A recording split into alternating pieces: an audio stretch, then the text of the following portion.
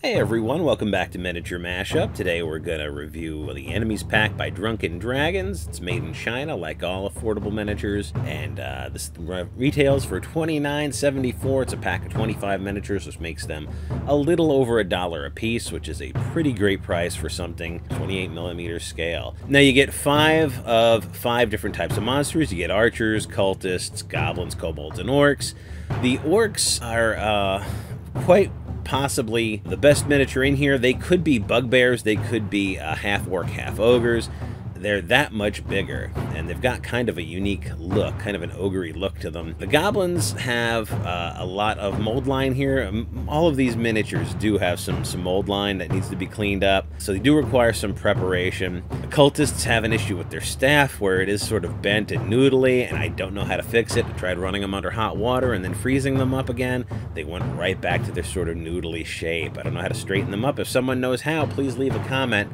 Uh, same goes for some of these archers' bows. They're a little out of shape as well. In general, there's a, there's a passable level of detail on these miniatures. I don't think anyone's going to mistake them for Games Workshop or Reaper, uh, particularly in the faces. They're a little bit low detail. And you can see this works quite a bit bigger than this 40k orc here.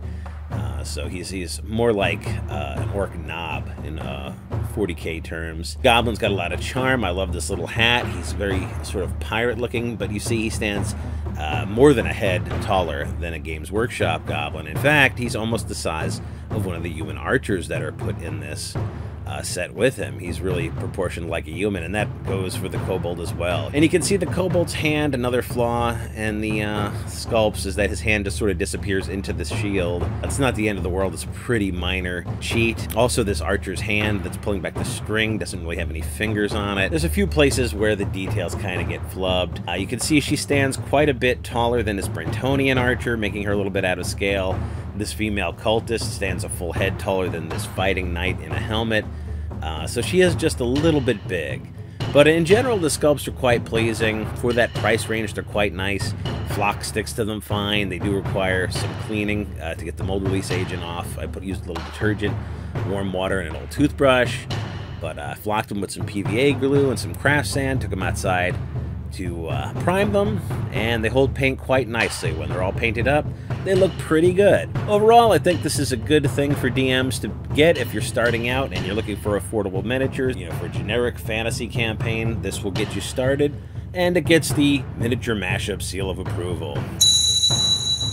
Thanks everyone for watching. We'll uh, have another video for you soon.